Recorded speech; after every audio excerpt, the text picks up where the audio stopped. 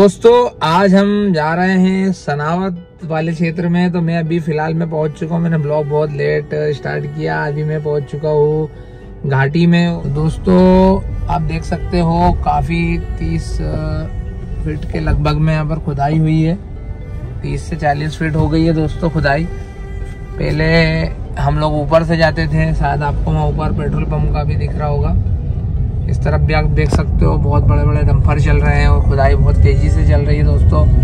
और ये काफ़ी ऊँची जगह थी दोस्तों पहले, गाड़ियों को चढ़ने में काफ़ी दिक्कत होती थी और अब फोर लेन का काम चल रहा है। तो डेढ़ दो साल से चल रहा है, आप देख सकते हो इधर कितनी खुदाई चल रही है। वो ऊपर देखो, आपको पम्प का एक दिखेगा।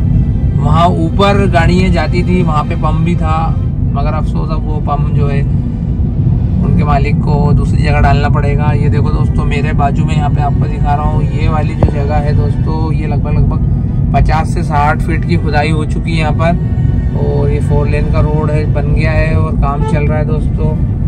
हम लोग को भी थोड़ी अपनी गाड़ी स्लो करनी पड़ेगी। और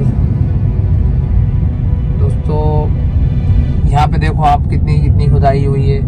बहुत ज़्यादा नीचे लाया गया है इसको दोस्तों।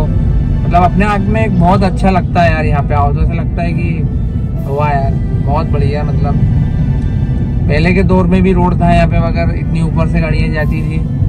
तो व्यू दिखाने का मतलब सिर्फ़ इतना है दोस्तों ब्लॉग में कि आज हम निकले थे घूमने के लिए। तो मैंने कहा, चलो दोस्तों को भी ये नज़ारे दिखा दे। यहाँ पर देखो आप, ये देखो वो झाड़। वहीं पे हम लोगों ने कई बार गाड़ी पार्क भी की है तो कम हो गया डाउनफॉल यहाँ पे बीस फीट के आसपास होगा। बहुत मतलब एक अपने आप में बहुत अच्छी बात है दोस्तों। चलो तो मैं आगे और कुछ बताऊँगा, आपको कुछ नया नज़ारा तो दोस्तों, जहाँ हमको पहुँचना था, वहाँ हम पहुँच चुके हैं। और ये है वो जे जिसको चोट लग चुकी थी। ये देखो, जल गया था दोस्तों इसका पैर तो बच्चों को दूर रखे आँख से। और ये देखो हमारे वसीम भाई। वसीम भाई और ये देखो भूरू भाई, कुछ बनाते हुए चिकन विकन। तो आज इनके हाथ से खाने को मिलेगा दोस्तों। जय हाय कर दो।